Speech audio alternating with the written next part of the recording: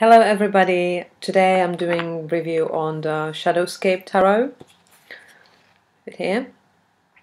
Um, this deck was published in 2010 by Llewellyn and the artwork is by Stephanie Pui-Mun Law.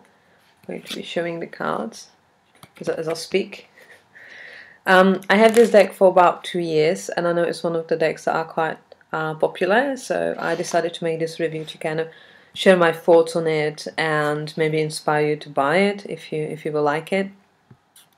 I guess I will start with the cards themselves. Um, they have those very nice fantasy watercolory imagery on them. Um, the back of the cards is quite nice. Is this reversible wheel of fortune or just a wheel of a universe. Um, the color of it is nice. It's like grayish purple, like they're all in like pastel colors. Stock wise and size wise, I would say it's quite general uh, Llewellyn card. So the stock is quite nice. I'm using it for two years and it still seems to be fine.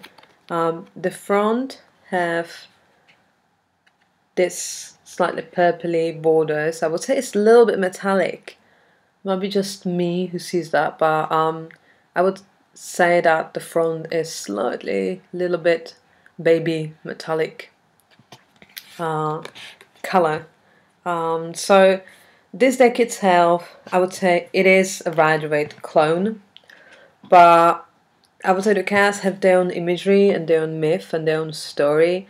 So if this is something you think you would like, if you feel like you don't want to follow completely right away, and you would like to have a deck are kind of going beyond that and they're adding some extra layers to the meaning, I would say this one would be great for that. So if you have a look, the Five of Wands. You can see you have the same bit like right away the theme of fighting and um, competition. It seems like it's a bit different because he's fighting those foxes and he is, it's not how it actually looks like an um, equal fight which let's say five of wands and Rider-Waite is a bit more like an equal um, situation. Um, the Fool card,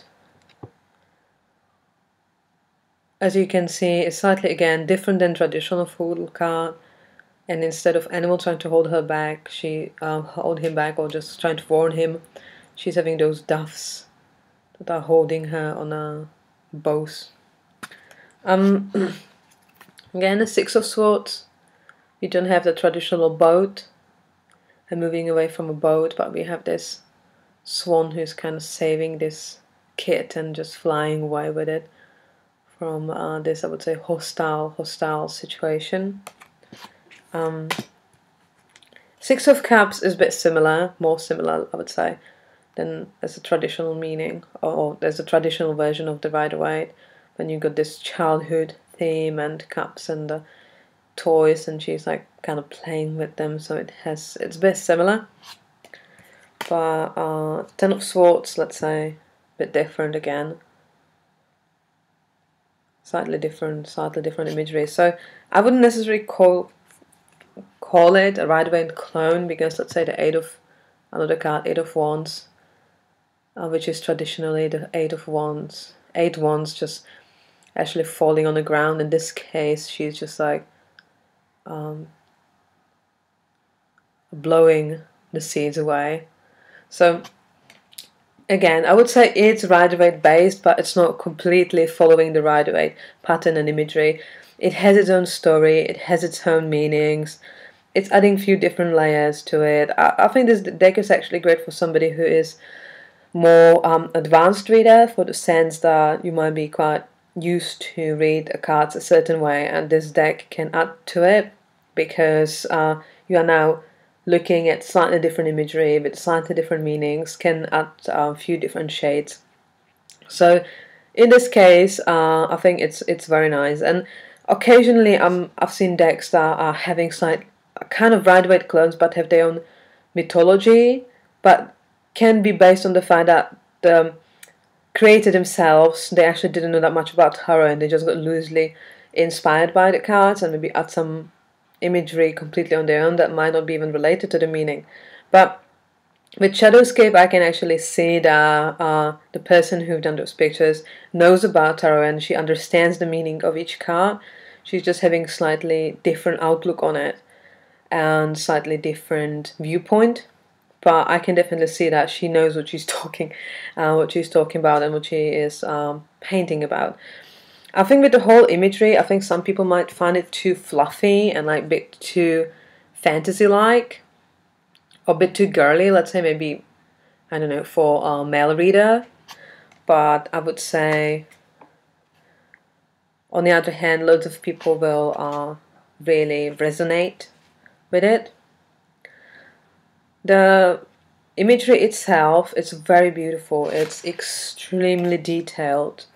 If you have a look at the Hermit card, the cards are quite small, but the amount of uh, details on them are just manic. The paintings are just super detailed and super amazing. For that sense, I would definitely appreciate if the cards can be a bit bigger, so I can like really enjoy all the details on the cards and you know um, really see them and have a proper look at them. I know that in that sense, I guess the deck would be a bit harder to actually shuffle, but then I think with this particular deck, I think I would be okay with um, a bit harder shuffling if I can see those cards a bit more, a bit better because they're extremely, extremely uh, beautiful. One of the reasons also why I would like to have the cards a bit bigger is because I found those cards extremely amazing for path working. If you do working with a card and you're going in a trance meditation and you kind of enter the card and really see what happens, um, I found those cards absolutely amazing for it and therefore it would be quite a bit easier with uh, slightly bigger cards. But it's definitely doable and even with this uh, size. And the truth is that if you want to see or have those prints in a larger, um, then you can just go on a Stephanie Pui-Mun Law website and you can order a larger print for them. But again, I, I would like to have maybe this deck a little bit, a little bit bigger. Mm. One of the things I also like about this deck is the fact how those uh, cards are actually, the suits are color coded. So let's say this is wands so you can see the wands have, are having this reddish, orangey, pinky colors. Um, Pentacles, show you Pentacles, are having this like green, green theme and showing some sort of like pagan, Wiccan creatures uh, with dragons and chameleons. Um, so this is like a forest pagan theme. Then you have the, um, the cups, and the cups are obviously, obviously, they're blue, and they're usually picturing fish, or turtles, and some sort of mermaid-like creatures. I can, can show you the this one actually. Yeah, and the Three of Cups. Three of Cups is beautiful. So it's like a mermaid like characters, bubbles, waves, underwater.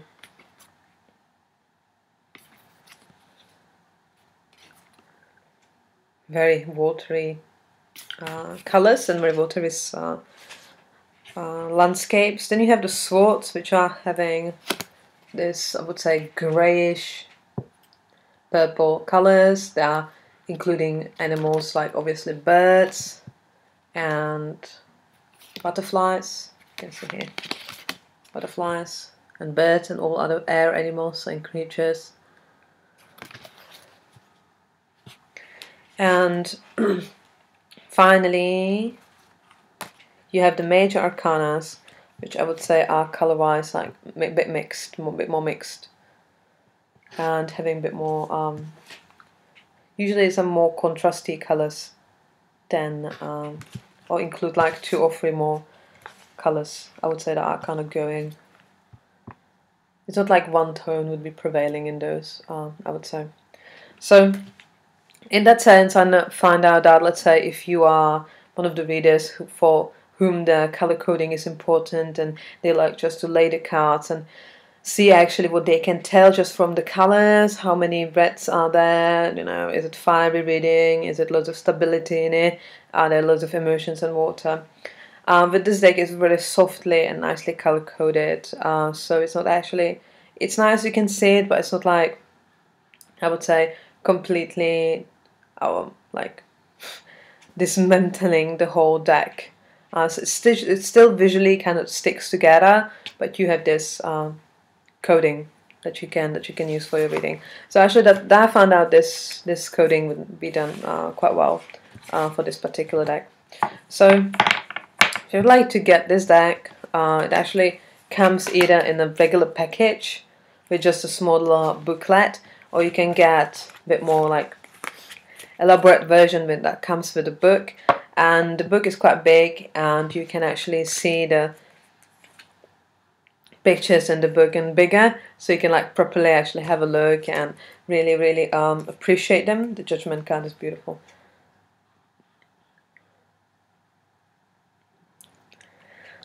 So I would say this deck would be great for somebody who let's say likes color coding that is subtle but visible.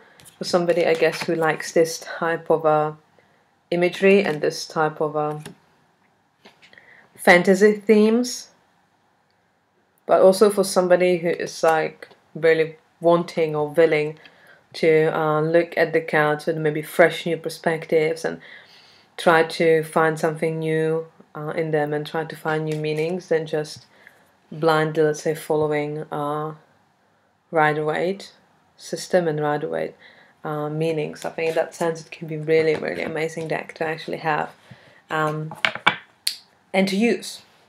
So that that was my experience with Shadowscape. I have it for, as I said, two years. I'm not using it as my main deck, but um, occasionally it just feels feels like Shadowscape, so so I use it. So thank you. If you have any experience with Shadowscape, please write me down in the comment section below if you have it, how you like it, there's something about it that you don't like. And so you can share your experience with others who are maybe trying to, uh, wanting to buy it. And if you like our channel, please subscribe. And um, we have more reviews in the playlist section. So if you're interested, uh, have a look. And thank you so much. Thank you so much uh, for watching.